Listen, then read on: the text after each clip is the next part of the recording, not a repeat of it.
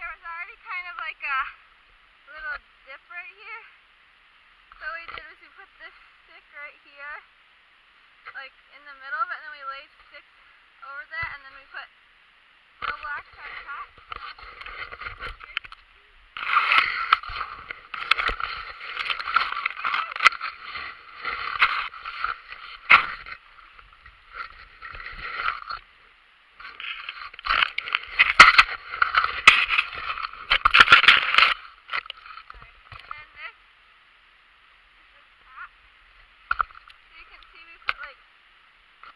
Roblox.